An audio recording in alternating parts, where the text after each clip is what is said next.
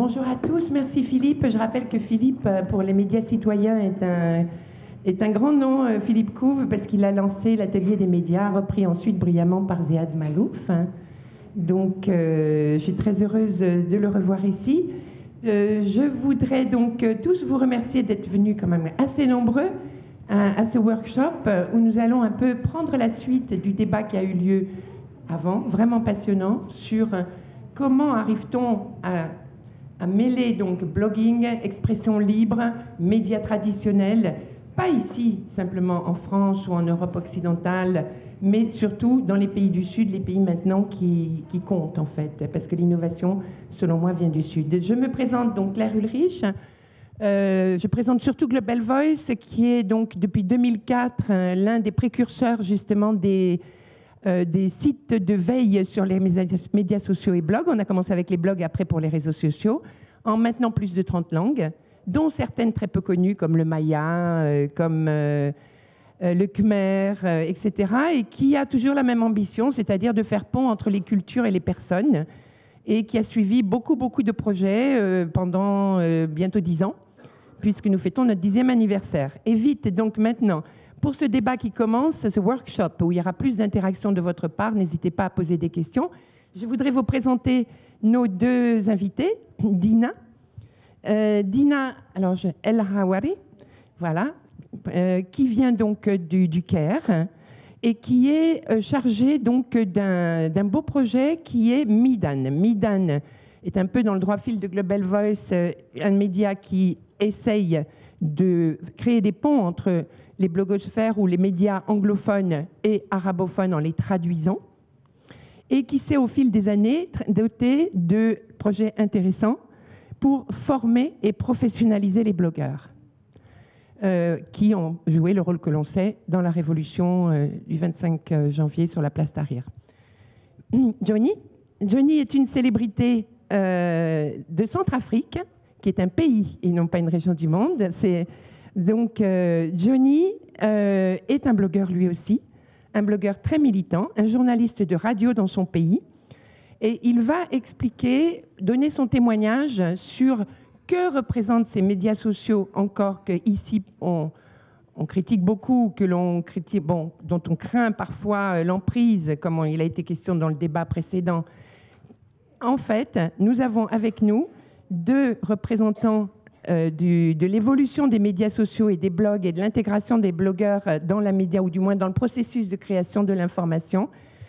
L'Égypte qui a commencé beaucoup plus tôt et qui maintenant est dans une phase que Dina, va nous décrire, hein, qui est intéressante, d'intégration dans les médias. Et Johnny, pour qui ces médias sociaux sont, on en parlait dans le précédent panel, comme pour l'Algérie ou d'autres pays, sont toujours le synonyme de liberté de liberté et d'au moins d'un espace pour ceux qui ne seront jamais entendus s'il n'y avait pas ces réseaux sociaux. Je vais commencer avec Dina et lui demander de son expérience justement avec Midan, puisque la question est quels sont justement par rapport à la création de l'information plus médias en Égypte, que s'est-il passé et pourquoi avez-vous créé ce que vous avez créé, c'est-à-dire les check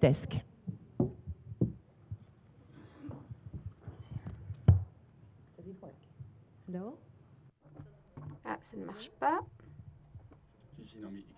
For the Bonjour à tous. Merci beaucoup Claire pour cette introduction.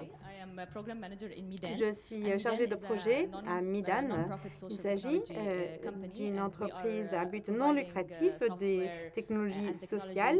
Nous apportons des logiciels avec euh, l'objectif d'améliorer les technologies transculturelles et un site web multilingue.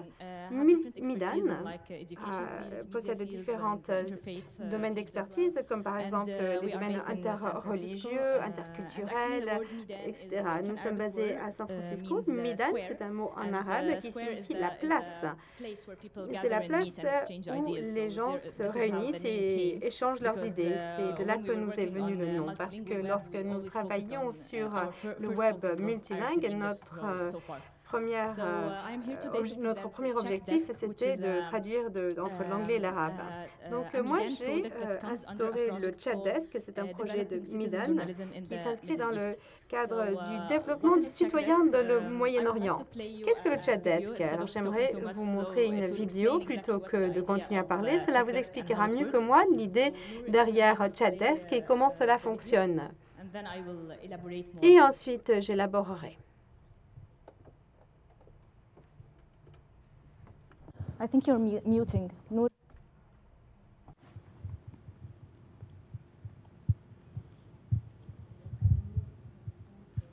No, no, it worked when I tried it, but just take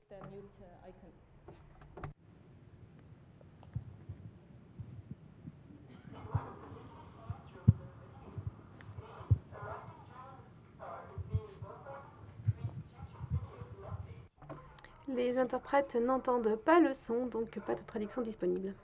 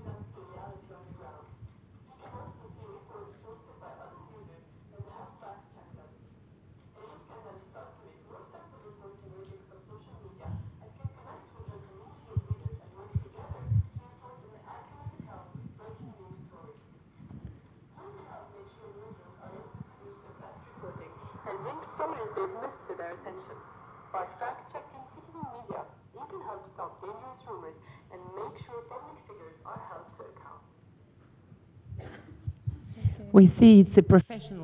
Euh, comme nous voyons que c'est une tentative de professionnalisation. Et nous reparlons donc, comme dans le débat précédent, de l'importance et parfois de la nocivité des rumeurs sur les réseaux sociaux. Pouvez-vous donc expliquer comment vous, euh, à Midan, vous formez ces blogueurs à devenir, euh, disons, à faire du fact-checking?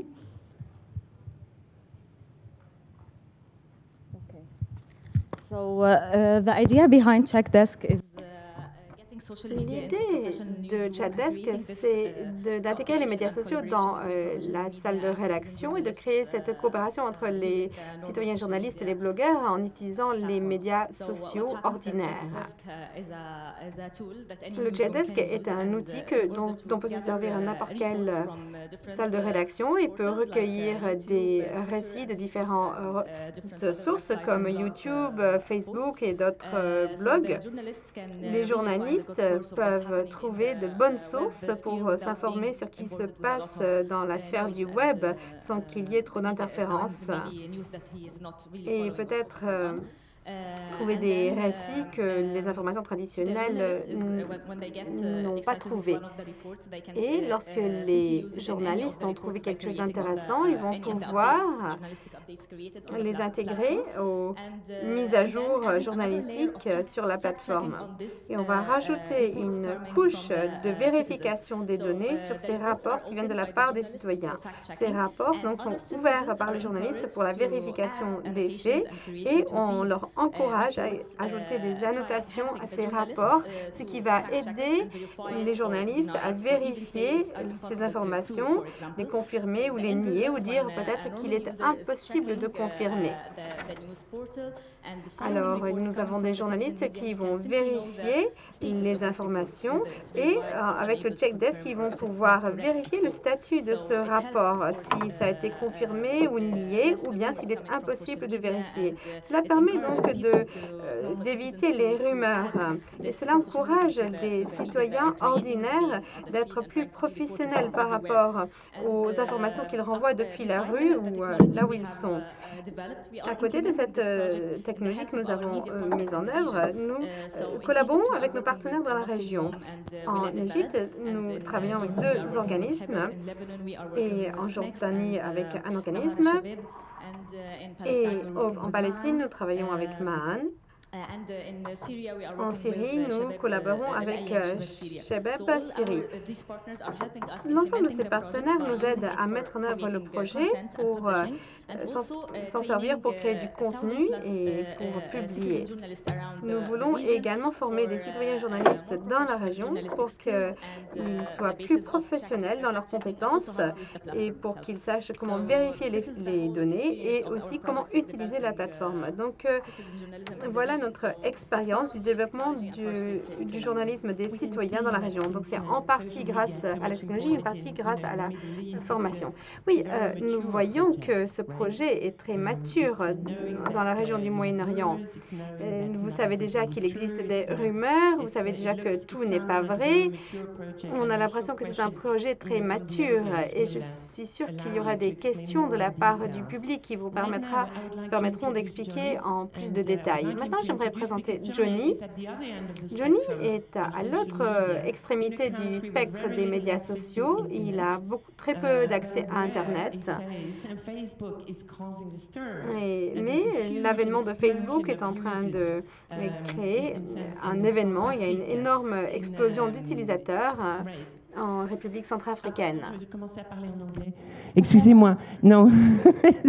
non, excusez-moi.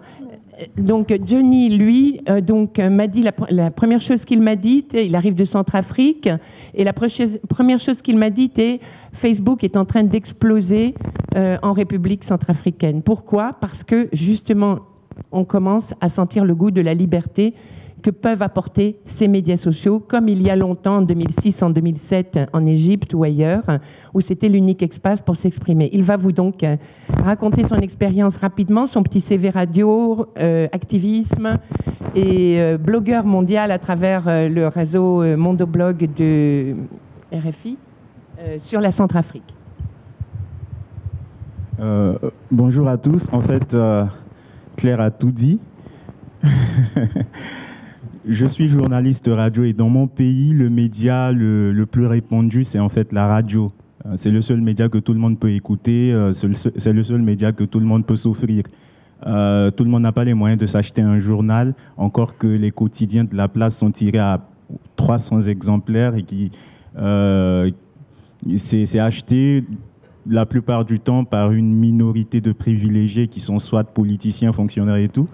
Alors, Aujourd'hui, il y a un phénomène justement qui prend de l'ampleur, c'est les réseaux sociaux et notamment Facebook qui explose, que les jeunes euh, transforment souvent en réseau de drague et tout. Mais ce qui est bien, c'est que sur les réseaux sociaux, notamment Facebook, vous pouvez euh, communiquer, mettre une information, des alertes, des dépêches et tout. Euh, ça veut dire que c'est un média, un moyen de diffusion d'informations. Il y a très peu de blogueurs. Je suis, euh, j'ai essayé de réunir un collectif de blogueurs centrafricains. On n'est que cinq. Alors, euh, ce qui est intéressant justement dans ma double casquette, ce que j'ai pu avoir comme expérience, c'est que dans les radios, dans la radio où je travaille par exemple, il y a très peu de, de place justement pour des informations de proximité. Les, radios s'intéressent plus aux informations institutionnelles et tout, des traités qui sont signés entre les États. Mais les populations de base, ils ont besoin qu'on parle de leurs vrais problèmes, de leur situation. Et à ce moment, personne n'est mieux placé pour porter haut leur voix que des gens qui sont issus de ces populations, c'est-à-dire des citoyens journalistes, des blogueurs. Et donc, euh, il y a des zones reculées, souvent oubliées des autorités de la place, dont on touche un mot de temps en temps quand il s'y passe un événement majeur. Encore que la classification de ces informations en fait euh, en, la une de l'actualité ou en fait de moindre importance dont il faut toucher juste un mot dépend des rédactions, de chaque rédaction. À ce moment, ces populations, ils ont besoin qu'on parle de ce, qui, euh, de ce qui les touche en particulier. Et c'est là toute l'importance des blogueurs. Alors, dans mon pays, il y a des gens qui reprennent des liens sur des, sites euh, et qui les postent sur leur page Facebook c'est plus facile pour un jeune de cliquer sur un titre racoleur et aller sur euh, le, site et lire que de d'ouvrir sa radio pour écouter une information. À ce moment, on peut toucher euh, euh, un plus grand nombre de personnes. Donc, le web, fédérant toutes les couches sociales, c'est-à-dire aujourd'hui, en son trafic, tu as des fonctionnaires, tu as des, politiciens qui essaient d'avoir des électeurs en ayant une page Facebook. C'est vrai que ce n'est pas forcément eux qui sont derrière, mais au moins c'est un outil de propagande. Alors, les populations peuvent s'emparer de cet outil et en faire donc des, euh, un, moyen d'activisme, euh, de militantisme des droits de l'homme. Et c'est ce que je fais justement. Euh, je blogue depuis 2010, mais j'étais déjà blogueur en 2006. Je blogue depuis 2010 sur la plateforme Mondoblog. Ce que j'ai remarqué, j'ai eu comme expérience avec Mondoblog, c'est c'est tout ce qu'on peut lire sur les différents pays de la planète qu'on ne lit pas dans les médias traditionnels. C'est l'actualité décalée vue par des citoyens qui ne sont pas forcément des journalistes, des étudiants, des professeurs, des médecins, mais des gens qui donnent des informations qu'on ne retrouve pas forcément dans les médias traditionnels. À ce moment, je me dis, c'est le mondoblog, c'est pratiquement le résumé, euh, en fait, l'essentiel de l'actualité mondiale résumé par des citoyens. Et si on tient compte de toutes ces voix, c'est à ce moment qu'on euh, qu'on rend service justement à ces populations dont on est issu, parce que euh, pour des pays comme les miens, où il y a des ONG internationales, des ONG humanitaires qui interviennent, ils ne sont pas forcément au courant des vrais problèmes, des vrais besoins des populations de base. Ils débarquent avec des plans d'action concoctés depuis les quatre murs de leur bureau. Ils sont déconnectés des situations, euh, de, la réalité locale, et ils arrivent ils, font des choses qui ne répondent pas forcément aux besoins de ces populations. Je donne un exemple tout bête. Euh, des, gens qui débarquent, par exemple, et qui décident de construire d'ici six mois sans latrine pour un campement de Peuls, en oubliant que les Peuls, c'est des nomades. Dans un an, ils ont décampé. Ces, ces latrines vont servir à quoi? Alors, euh, vous avez besoin à ce moment des gens qui sont issus de ces populations de base qui, euh, qui font ce travail de journaliste. Et je pense que les blogs sont une mine d'informations et de sujets euh, pour les rédactions. Plusieurs fois, j'ai fait l'expérience de proposer des sujets en conférence de rédaction, des sujets que j'ai piqués sur Mondoblog. Par exemple, quelqu'un qui a blogué sur, euh, je ne sais pas moi, euh, la prolifération des lieux de culte, le proxénétisme religieux. C'est des réalités qui échappent souvent aux professionnels de la presse, mais qui sont repris par un, citoyen qui vit la chose dans son quartier, dans sa localité. Et quand tu proposes ça en séance de rédaction, tu te rends compte que, tu te rends compte que ça intéresse les gens. Euh, autre exemple, c'est qu'il y a des sujets qui sont purement et simplement écartés par les rédactions. Moi, j'ai proposé en conférence de production pour mon émission euh, une l'homophobie. Et ça, j'ai écrit un billet là-dessus. Alors, je me suis buté au refus catégorique de ce sujet. Euh, toute la rédaction s'est euh, enfin, euh, accordée à affirmer que c'est un débat de blanc, que le problème ne se pose pas chez nous, que si on parle de l'homophobie, c'est comme si on était en train de sensibiliser les gens à normaliser une pratique que chez nous, les gens, les gens ils estiment que c'est une horreur, l'homosexualité. Mais la réalité, c'est qu'il existe des, homosexuels en Centrafrique. Et justement, il faut en parler. C'est un débat qui fait couler l'encre partout. À ce moment, si on reprend en tant que journaliste ce sujet rejeté par la rédaction sur son blog, on continue le débat sur les réseaux sociaux, on donne la possibilité aux gens de s'exprimer sur la question. Euh, je pourrais aussi ajouter le fait que dans, dans, les pays comme les miens où les moyens sont limités, les journalistes n'étant pas omniprésents, ils ne sont pas toujours là au moment M où se passe un événement. Ils ont toujours besoin des chasseurs d'images, de, ces citoyens euh, qui immortalisent une scène. Et euh, il y a des grandes rédactions qui reprennent, euh, les observateurs de France 24, qui reprennent par exemple les, images prises par des, de simples citoyens. À ce moment, je pense que le travail que fait le citoyen journaliste et le journaliste se, se complètent. Euh, ce que je voudrais aussi ajouter, parce que j'ai suivi les débats, les débats précédents, euh, sur euh, les, genres factuels et les genres d'opinion. Je pense que les blogueurs, il, faut, il faudrait peut-être les blogueurs qui se contentent de donner des faits sont moins intéressants que ceux qui se livrent à des analyses parce que justement c'est à ce moment que euh, ça devient plus intéressant de, dire, de donner des témoignages. Les gens sont souvent fatigués d'écouter les leaders d'opinion qui interviennent tout le temps dans les médias traditionnels, soit euh, pour, euh, pour expliquer ou pour dire des choses. les gens ont besoin souvent qu'on leur raconte, qu'on leur fasse des récits, des témoins oculaires, des gens qui font leurs propres analyses de la situation qu'ils ont vécue dans leur chair en tant que citoyens, euh, qui n'est soumis à aucune ligne éditoriale parce que dans les rédactions, on le sait tous, l'information est filtrée, euh, on évite de, euh, on évite ce qui fâche. Et à ce moment, on, peut être complémentaire sans pour autant marcher sur parce qu'il y a des journalistes justement qui se demandent, et ça, cette question est revenue dans la salle, est-ce que donner de l'information est-il l'apanage des journalistes et qu'un euh, citoyen, s'il n'est pas journaliste, n'a pas le droit de s'exprimer sur une question qu'il touche en particulier euh, Je pense qu'il n'y a pas conflit à ce niveau si chacun essaie euh, de, mettre l'auditeur, le lecteur et, et c'est lui qui est bénéficiaire de l'information à la plus importante place. C'est lui qu'on veut satisfaire. On veut lui donner tous les éléments pour, faire, pour se faire sa propre opinion de la situation.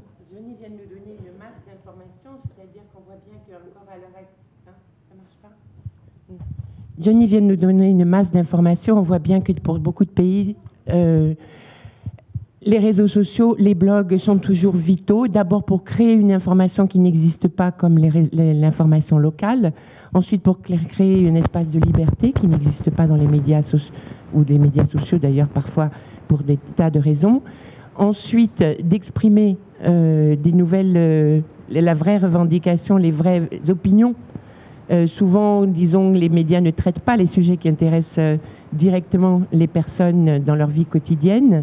Et aussi rappeler, ils viennent, donc, euh, nous rappellent que le seul outil du journaliste, souvent, ou du blogueur, hein, dans certains pays, dans, plus, dans beaucoup pays, c'est juste le papier et le crayon, parce que à l'heure où l'Afrique en particulier, beaucoup de, pays euh, souffrent de, si vous avez entendu parler de délestron, de délestage électrique euh, sans, enfin sans cesse, de délestage électrique et de coupure d'électricité, l'énergie devient un vrai problème, communiquer devient un vrai problème et on se retrouve avec simplement le Nokia de base pour envoyer des informations. Et on s'aperçoit que même avec le Nokia de base pour envoyer des textos avec des news, ça marche quand même. Donc il y a des milliers de possibilités de communiquer l'information qui s'inventent face à la pénurie, face à la répression ou face à la censure ou l'autocensure.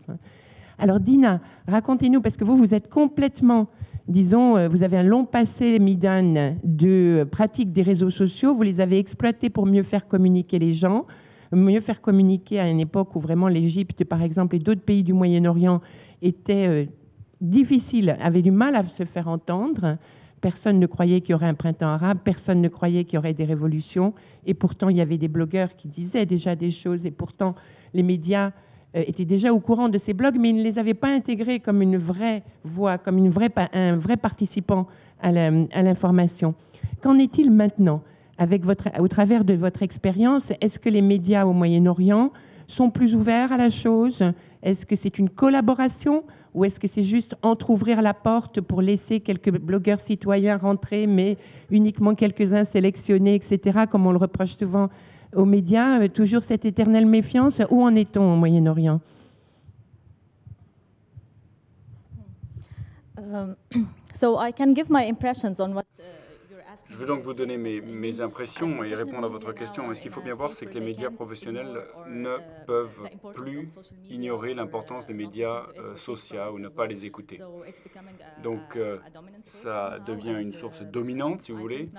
Et je dirais que les médias professionnels ne peuvent pas ne pas en tenir compte. Il faut qu'ils travaillent euh, avec. Alors, c'est vrai que la relation n'est pas forcément très bonne entre les médias professionnels et les médias citoyens. Et euh, je dirais que ça vient de part et d'autre. Hein, parce que les médias professionnels parfois font preuve de scepticisme par rapport à la crédibilité, ce qui provient des, médias euh, sociaux, comment euh, les utiliser, leur niveau technologique par exemple. Et puis, depuis, du, du, point de vue des journalistes citoyens, il y a des gens qui sont réticents et qui disent que ce ne sont pas de vrais reporters, qu'il n'y a pas de vraie coopération avec les médias professionnels parce qu'il y a des pressions en termes de publication, euh, parce qu'il y a ces troupes idéologisées, que les gens veulent pouvoir parler de leur propre voix, dans leur propre langue, à leur propre manière, et ça c'est quelque chose de très important sur les plateformes de médias sociaux. Donc je peux dire que je peux pas vraiment dire que c'est un vrai amour, on pourrait plutôt parler de désamour, mais en tout cas il y a des gens de part et d'autre qui essaient de s'adapter à l'importance, qui se rendent compte de l'importance de travailler ensemble, donc les choses sont en train d'évoluer. Donc vous direz que cette année c'est une année d'essai, on est en période d'essai. Plus que ça, plus que ça, en fait, cette période euh, d'essai, elle a commencé il y a des années déjà. Alors, Nour euh, est en train de me dire que c'est la fin euh, de la présentation de nos deux ah, invités. Et que maintenant, les questions sont à la salle et beaucoup de personnes, je vois déjà des mains levées, pour poser directement à ces deux, leurs questions à ces deux témoins d'expériences très contrastées, aux deux au debout, disons, du spectre euh, qui s'est ouvert avec les médias sociaux et l'arrivée des médias sociaux et des blogs euh, face aux, médias traditionnels. Bonjour. Bonjour. Ah oui, ça fonctionne. Bonjour tout le monde, merci pour la communication. En fait, j'ai deux questions à Madame Dina et une question à Monsieur Jean Jaunet. Euh, Madame Dina, vous avez dit en premier lieu que quand les informations arrivent à la rédaction, votre premier souci est de vérifier ces informations. J'aimerais bien voir comment vérifier tout ça euh, sur, euh, sur terrain, surtout que généralement le nombre de ceux qui travaillent dans une rédaction est limité. parfois les moyens, on parle des pays arabes, du Moyen-Orient, et aussi les moyens sont limités. Ça d'un côté. De l'autre côté, quelles sont les informations qui sont importantes et prioritaires pour les rédactions? Surtout que parfois, les gens exagèrent ou bien euh, les gens parlent euh, d'un même événement. Par exemple, ils focalisent ou bien ils donnent plus d'importance aux manifestations, aux mouvements de protestation. Et cela, euh, et parfois, ces informations éclipsent d'autres informations très importantes. Euh, ça a devenu une mode de parler des mouvements de protestation, alors qu'il y a d'autres problèmes qui sont vraiment très sérieux. Euh, ça, c'est pour Mme euh, Madame Medina. Et pour euh, Jaunet, s'il vous plaît, par exemple, en travaillant souvent avec les réseaux sociaux, vous ne voyez pas, parce que je parle en connaissance de cause de ce qui se passe en Afrique et dans les pays arabes. Donc, peut-être ailleurs, c'est d'autres, ça veut dire d'autres situations. Euh, euh, travailler avec ces réseaux-là, donc ça laisse, ça veut dire, on risque d'avoir un excès de virtualité. Les gens parlent, euh, ça veut dire, ils réagissent pas sur le terrain, ils parlent uniquement de leurs problèmes. Est-ce que la finalité, c'est de parler des problèmes ou bien d'essayer de rapprocher les décideurs du simple citoyen? Trouver une solution parce qu'il y a vraiment des problèmes qui prennent de l'ampleur. Ça, ça c'est important. Et juste. Parfois, les journalistes trouvent que la contribution des réseaux sociaux, c'est l'information à moindre coût. Je ne me déplace pas, j'ai des photos, j'ai des informations, et c'est la paresse. Merci.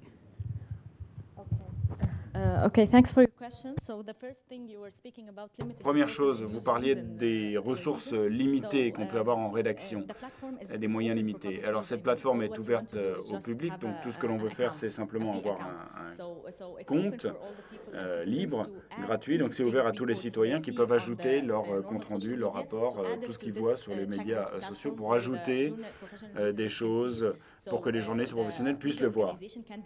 Donc les organisations, les médias peuvent euh, utiliser leur propre staff et également des citoyens qui utilisent cette plateforme. Donc c'est ça le défi des organisations professionnelles, c'est de créer une communauté autour de ces vérifications, des gens fidèles, des citoyens euh, fidèles qui veulent euh, les aider et à leur apporter des informations importantes. Ça, c'est la réponse à votre première question. La deuxième question sur les priorités, je dirais que jusqu'à maintenant, en termes de vérification des informations, eh bien, les, les, les rapports sont ajoutés manuellement ou en utilisant un euh, bookmark, un marque-page que l'on peut euh, installer sur notre euh, navigateur. Donc ça reste personnel. c'est quelque chose qui est fait manuellement. Et, pour les, et au bout du compte, de toute façon, les événements les plus importants ressortent toujours. Quoi qu'il arrive, ces événements plus importants ressortiront toujours du lot. Et plutôt que d'avoir une page Twitter qui est uniquement une actualisation toutes les 5 secondes, il y a d'autres agrégateurs spécifiques qui font qu'on repère également les autres informations importantes. Donc, ce n'est pas uniquement des questions personnelles, des impressions sociales, non, il y a des choses plus importantes, ce sont des vraies nouvelles qui apparaissent. Ensuite, plus tard, avec d'autres développements, nous allons pouvoir avoir d'autres idées technologiques dans notre, sur notre feuille de route, comme se relier à des hashtags, des liens vers des hashtags ou des liens vers certains utilisateurs, par exemple. Ça, ça n'est pas toujours très clair dans nos, dans nos plans, mais en tout cas, il y a des choses sur lesquelles on va pouvoir travailler plus tard. Je rappeler que Midan ne fait pas simplement ce travail de formation euh, et de collaboration avec les médias traditionnels, mais aussi de traduction non-stop. Euh, donc, euh, c'est très important pour les audiences étrangères de voir les nouvelles arabes du monde, du monde arabophone et vice-versa. Ça offre aussi un pont. Johnny, vous voulez, tu veux répondre à la question que Madame posait? Alors, euh, je pense qu'elle a deux préoccupations. Je commence par le second qui est l'information à moindre coût. Euh, comme quoi les, journalistes, les rédactions, euh, les médias traditionnels qui se contentent de rester dans leur rédaction et d'utiliser les images provenant des citoyens journalistes ne font pas en réalité leur travail. Je pense qu'il faut, situer euh, le problème dans des, contextes précis. Euh, je parle du contexte centrafricain que je maîtrise le plus. C'est là où je viens. Alors, chez moi, je l'avais déjà dit, la radio, c'est le média le plus répandu, le plus écouté. Le problème avec la radio, c'est qu'elle émet, euh, c'est une radio FM qui émet dans un espace bien déterminé, qui est là et euh, qui n'a pas souvent les moyens de couvrir les 16 préfectures de la RCIA, d'avoir tous les correspondants avec des moyens sophistiqués. Euh, il y a un événement, euh, dans les cinq minutes qui suivent, on a un journaliste sur le lieu. À ce moment, est-ce que c'est un péché de pouvoir reprendre une image de quelqu'un qui est là sur place et qui a pu immortaliser la scène? Je pense qu'au contraire, euh, ne pas le faire, c'est faire de la rétention de l'information. Parce que justement, euh, le journaliste, son travail, c'est quoi? C'est rechercher, recouper, vérifier l'information et le mettre donc à la disposition du public. Peu importe de qui vient cette information, son travail, il le fait à partir du moment où met cette information à la disposition de la masse.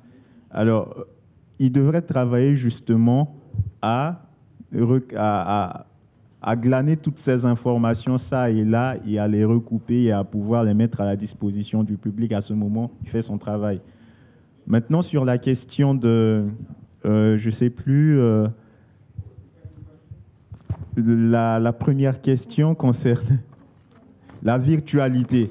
Alors, euh, je disais, pas plus tard qu'hier, je disais à quelqu'un que l'Internet n'a finalement rien de virtuel. Si aujourd'hui, euh, j'ai eu cette expérience il y a un ou deux mois à l'arrière, j'étais à Dakar, j'ai rencontré 52 blogueurs que j'avais l'habitude de lire, avec lesquels j'échangeais sur Facebook, sur Twitter.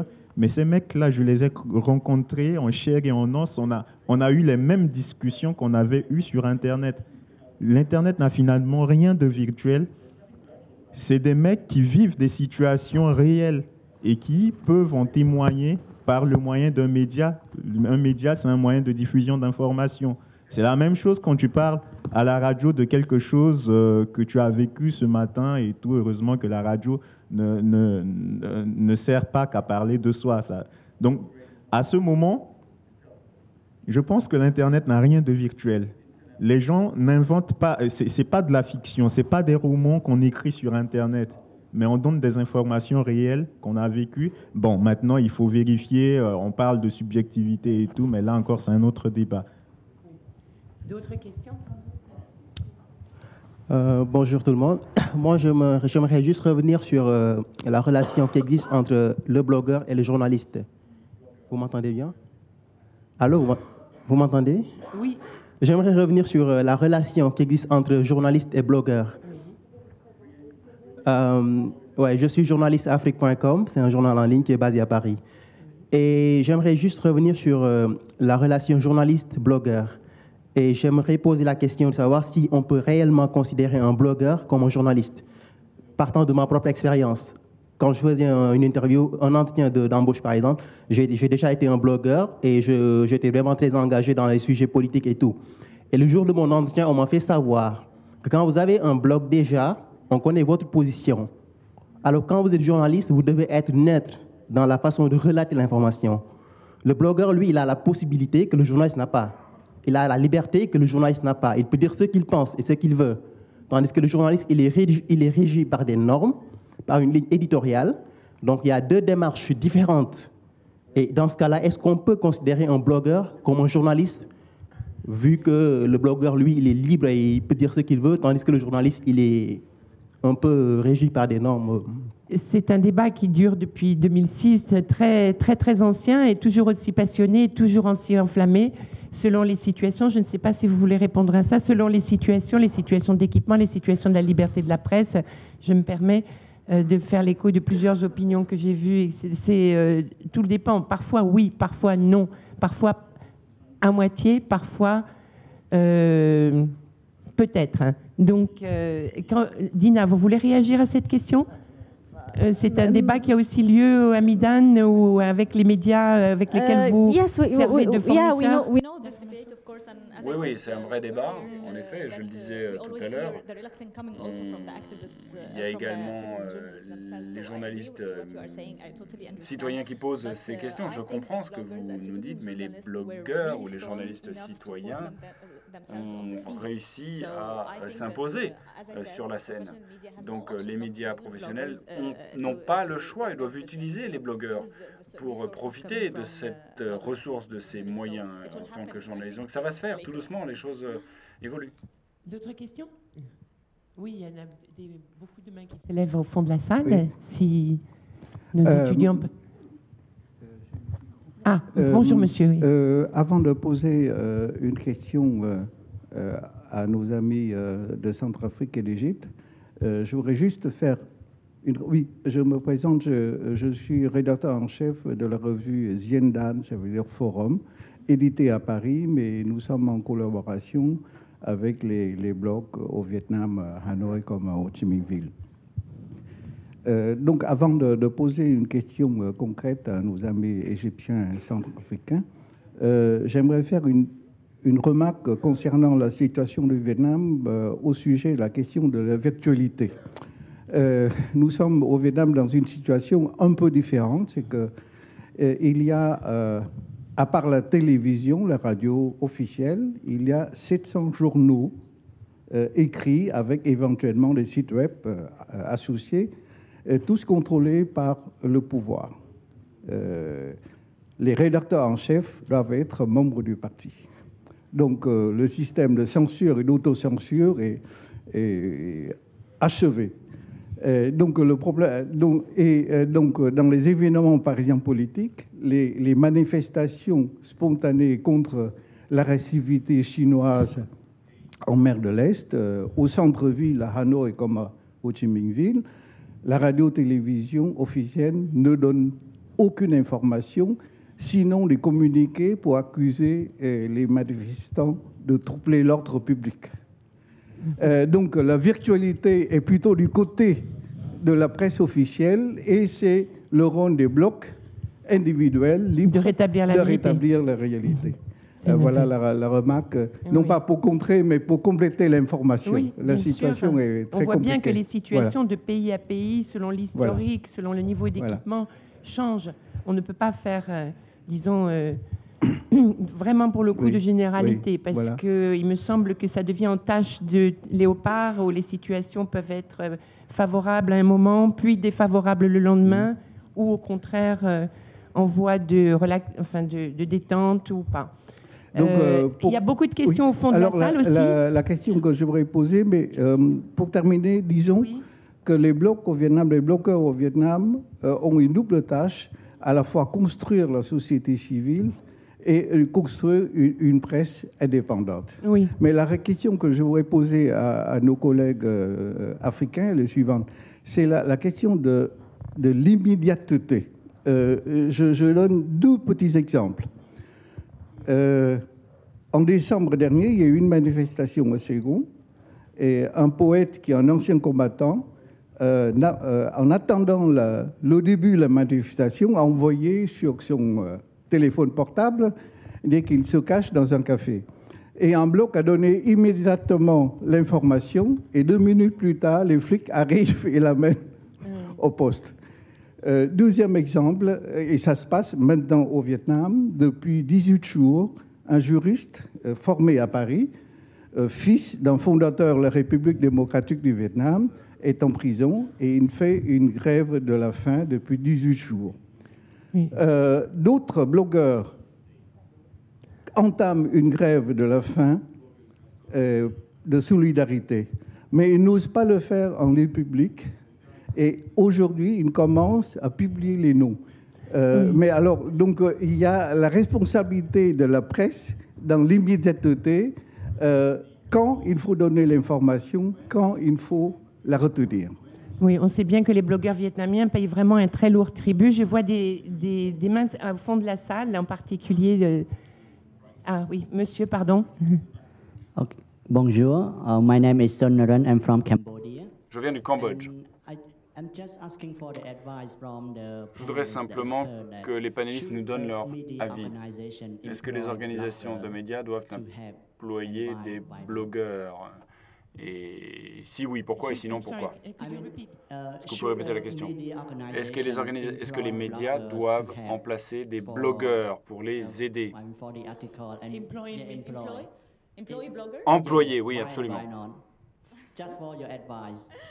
Un conseil, je savoir votre avis. Moi, je ne peux pas vous donner de conseils, je ne suis pas dans cette situation, moi je ne travaille pas pour euh, un média, donc euh, je pense qu'il y a davantage d'experts euh, qui pourraient répondre à cette question, euh, mieux que moi en tout cas, mais euh, d'un point de vue personnel, oui, pourquoi pas. Ils pourraient même leur présenter, leur donner différentes situations, différents, leur faire faire différents travaux journalistiques. Mais oui, je pense qu'il faut les entendre, il faut les écouter, mais ça reste un avis personnel, je ne sais pas, hein. je ne sais pas ce qu'en pensent les gens qui travaillent dans les médias, justement. Sur cette question, je n'ai pas un avis de spécialiste, mais je peux donner mon opinion. Je pense qu'on peut partir d'un blog et arriver à quelque chose. C'est un peu comme dans les médias traditionnels où on a des, médias d'information générale, on a des, des, médias euh, qui sont spécialisés en politique, en économie, en sport, en tout ce que vous voulez. Maintenant, si vous faites un blog, par exemple, où vous parlez à la fois de philosophie, de cuisine, de, je sais pas moi, euh, de thérapie et tout, vous avez peu de chances d'avoir euh, de fidéliser un, groupe cible de lecteurs qui s'intéressent donc à vous. Il y a des gens qui sont partis de rien et qui sont, spécialisés. On a, on a des, je sais pas, des consultants, par exemple, sur des chaînes de télévision en sport et tout, qui n'ont jamais été dans une école de journalisme. Mais maintenant, euh, bon, pour être maçon, il faut avoir été à l'école et apprendre à faire la maçonnerie. Maintenant, je n'ai pas un avis tranché sur la question. Quoi. Euh, est-ce que nous pourrions prendre juste les trois questions? Peut-être si euh, je vois la présence de Philippe, qui est un grand ordonnateur du temps, un grand maître du temps. Oui. D'accord. Alors, est-ce que nous pourrions simplement écouter les questions et les mettre sur Twitter pour que si le débat peut continuer aussi de manière plus informelle pendant, le, pendant la pause. Merci en tout cas euh, à vous, euh, les panélistes. Ça n'épuise pas euh, le débat puisque on va avoir du temps là un petit peu avant le, le prochain débat, le prochain atelier qui va démarrer à 12h30. Et puis comme notre pause de midi va être un peu plus longue, ça va nous permettre de continuer à échanger aussi avec les, panélistes autour de cette question qui effectivement est récurrente euh, depuis un certain nombre d'années euh, sur journalistes et blogueurs. Et je ne m'explique pas pourquoi elle dure, parce que la plupart des blogueurs n'ont absolument aucune intention de devenir journalistes. C'est absolument pas leur propos. Il y en a une très petite fraction d'entre eux, mais la plupart d'entre eux avec qui on discute, et c'est pas ça leur préoccupation. Donc je comprends pas pourquoi souvent les journalistes ont des réactions extrêmement euh, crispées sur cette question, alors que les blogueurs n'ont absolument pas l'intention de prendre leur travail. Euh, voilà. Donc euh, voilà. Merci en tout cas à vous pour euh, ce, cet atelier.